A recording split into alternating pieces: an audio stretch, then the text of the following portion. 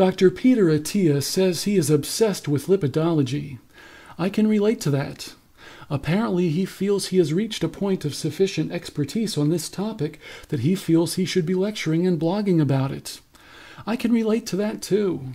But here is the problem Dr. Attia is giving us bad information. His views on this topic are distorted by his low carb ideology. I'll demonstrate that to you in the next three videos. Attia published a series of blogs about cholesterol on his website that he called The Straight Dope on Cholesterol. He also has a video on YouTube of the same name. I'll only need to show you a few comments he has made about cholesterol from these presentations to make it clear to you that we should hold his views suspect. Here is the first one. Pardon me, exogenous consumption, so the cholesterol that we eat. And um, you notice I have pictures of both eggs and corn here. Why am I doing that? Because remember, we eat both cholesterol and phytosterol from plants. Uh, most people don't realize this, but corn actually, on a per gram basis, has far more phytosterol than any other plant except one.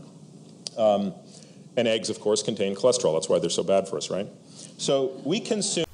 And you can hear a few chuckles in response to his laughing delivery. How funny to think that these silly people are worried about what eggs do to their hearts when corn is at least as bad. Ha ha, we laugh at their ignorance. Notice that Dr. Attia is following the Gary Taubes playbook here. He implied that corn is bad for us, but he didn't say that directly. He wants you to infer the lie without him needing to say it. In the same vein is this quotation from a blog post he wrote Atherosclerosis is defined by sterols in the artery wall, whether those sterols are cholesterol or phytosterols. This pairing of the two implies a question why do we worry about one and not the other? Attia says that one of his mentors in his education about lipids and cardiovascular disease is Thomas Dayspring. Dayspring tells us in a textbook chapter he wrote about phytosterolemia that plant sterols are problematic only for individuals with specific genetic defects. He also wrote that concentrations of phytosterols in the plasma do not correlate well with dietary intake. How many people have these specific genetic defects? This condition is so rare that its prevalence is unknown. Dr. Dayspring estimates that only 1 in 1 million is affected. Phytosterolemia is so rare it was not even described in the medical literature until 1974. Notice that in this study of people with phytosterolemia that the dietary restriction of plant sterols didn't do much of anything. If the dietary restriction of plant sterols doesn't do much, then how else is this condition treated? There are several treatment options, but perhaps the most interesting in the present context is the restriction of dietary cholesterol. Yes, if you are that rare person with this problem, you need to avoid eggs, whether Dr. Attia thinks that's funny or not. Should the rest of us be concerned about plant sterols?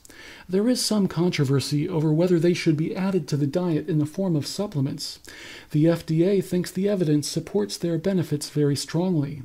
But when it comes to the foods we normally eat, the consensus view is that they are not an important factor. In fact, this recent meta analysis on the topic found them to have no relationship at all to cardiovascular disease.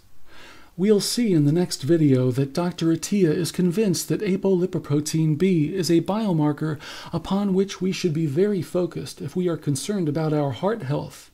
He should be aware that plant sterols are far better at reducing ApoB than butter, which was useless for this purpose in this trial. If he were consistent in his beliefs, he would prefer corn to butter.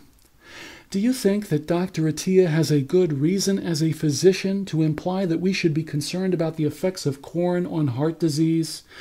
Or do you think he has revealed a bias with those remarks that indicates that he has trouble thinking straight about this topic?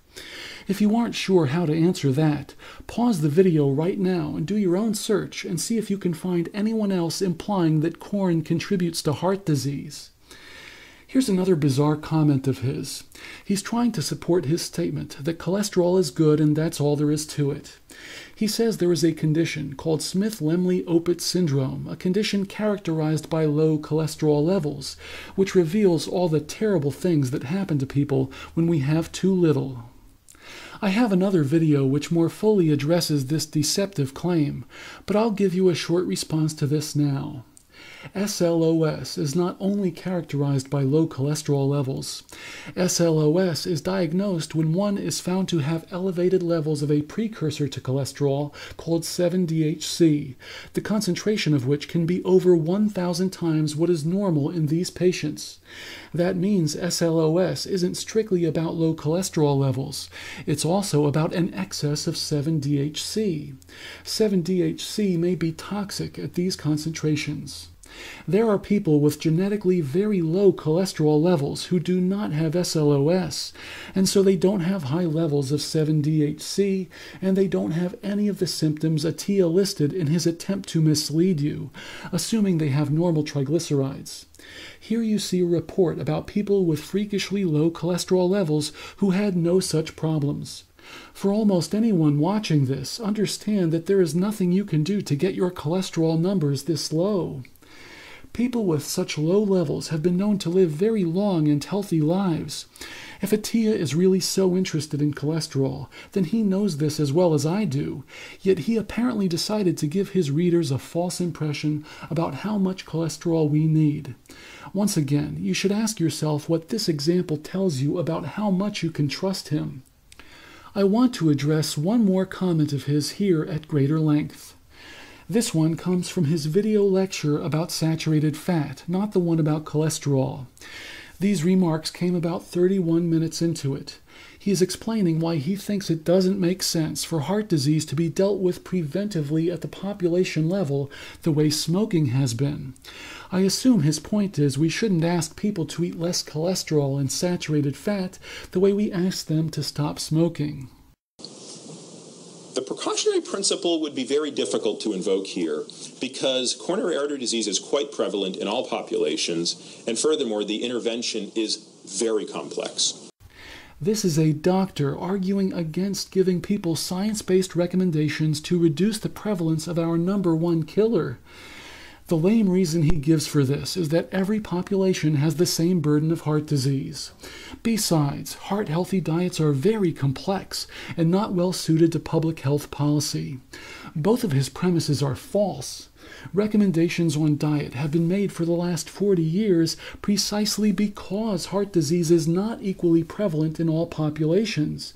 Again, he must know this as well as I do. This paragraph from a 1966 paper sums up what had been observed in cross cultural comparisons. These researchers wrote Atherosclerosis lesions have been found to exist in all populations studied, but when comparisons are made between groups of peoples from various geographic areas, the severity of the atherosclerotic lesions and the frequency with which complications of atherosclerosis occur, such as myocardial infarction, are found to vary widely. In some areas, complications of atherosclerosis are almost non existent, while in other areas they are extremely common. This is not what Attia told his audience. Heart disease has not been quite prevalent in all populations. The researchers who wrote that decided to try to verify reports that heart attacks were hardly ever seen in Uganda. They had hearts sent to them from autopsies conducted in Uganda and concluded that infarcts were indeed almost non existent there. Compare the incidence rates for myocardial infarction among Ugandans as ascertained from those autopsies with comparable rates for New Orleanians. To say that heart disease was quite prevalent among Ugandans back then would be false. The Ugandans avoided heart disease by consuming a starch based diet with very little fat or animal protein. Likewise, it was reported in this book that in China in the 1940s heart attacks rarely occurred. In those days, the Chinese diet was high carb and practically vegetarian. You can see how this researcher compared the Chinese diet with the American diet in those days. They ate lots of starches and hardly any meat or eggs. Unfortunately, increasing prosperity in China has resulted in increasing meat and dairy consumption there, just as we saw in my previous video. The Chinese experience typifies the nutrition transition. The observation was made as early as 1908 that when Chinese individuals became wealthier, their dietary practices changed. This author noted the appearance of diabetes in the new wealthier classes, something rarely seen in China at the time. Notice that the people of Singapore are specifically mentioned as having European tastes and a higher incidence of diabetes. More recently, this health professional in China lamented that this once lean nation has seen such a radical increase in obesity. This academic pointed out that rapidly increasing rates of obesity in China have been accompanied by a vast increase in the consumption of animal foods. As one would predict, China isn't so free of heart disease anymore. Look at what has happened in Beijing. These authors wrote much of the dramatic coronary heart disease mortality increases in Beijing can be explained by rises in total cholesterol. We just saw a mention of the diet in Singapore from 1908. Singaporeans have received more recent attention for the effects of their diets. Large differences were found in cardiovascular mortality rates between Singapore and Hong Kong in this paper. These researchers used mortality data from the WHO and nutrition data from the FAO for their analysis. More coconut oil and palm oil were consumed in Singapore. They also had a far higher ratio of animal fat to vegetable fat. Those factors may have explained why their cholesterol levels were so much higher. Singapore's men had twice the mortality from cardiovascular disease as the men in Hong Kong. Okinawans were legendary for their longevity and health. Autopsies were performed on them in this study from 1946. The examiner wrote The relative freedom of these Okinawans from degenerative diseases of the cardiovascular system was amazing. Later, he commented The heart appeared remarkably well preserved at all ages. Why was this? What could we learn from their exceptional cardiovascular health? The Okinawans enjoyed more physical activity and less stress than other cultures. And more important for this discussion, they consumed a simple, predominantly vegetarian diet. In the 1950s, American physicians took note of this report in JAMA, which contrasted the progression of atherosclerosis in young American soldiers killed in action during the Korean War with comparable Japanese men. The American subjects, who died at an average age of 22, had far more diseased arteries than the Japanese. The doctors who conducted these examinations suspected the explanation lay in the differences between Japanese and American diets. Of course, the Japanese diet was famously low in fat. Their cholesterol levels were far lower than those of Americans. Heart disease used to be very rare in Malaysia, too.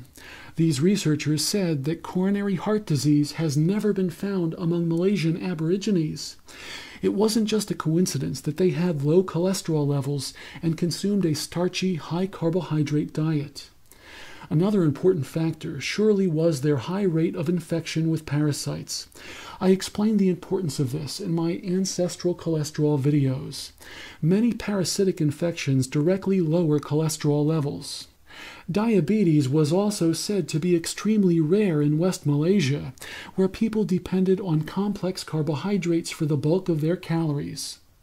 I would be remiss if I didn't remind you of the seven countries study of Ancel Keys and his many colleagues from around the world, in which it was demonstrated beyond all doubt that the prevalence of heart disease varies widely between populations. Blood pressure and cholesterol were found to be important statistical determinants of heart disease. An article that had echoes of the seven countries study was written by Law and Wald in 1994. They compiled studies which recorded cholesterol concentrations from around the world and compared that data to heart disease mortality rates. They noted a tenfold range in ischemic heart disease among the 17 countries they examined. Four fifths of the variation in deaths from ischemic heart disease could be explained by differences in serum cholesterol levels. I ask you, do you think Attia is right that a broad based policy of preventing heart disease through diet would be very complex? We just saw how people used to eat. The poorest, simplest populations ate starchy foods, the only foods that they could afford to eat in bulk. Are you going to tell me that their diets were very complex? Don't believe a low carber who says that the Eskimos were also free of heart disease. Autopsy studies like this one can be seen in my video called The Eskimos Again. Peter Attia says our attention should be focused on apolipoprotein B or LDL particle number if we want to understand how heart disease works. In the next two videos, I'll give you some information about ApoB that he didn't.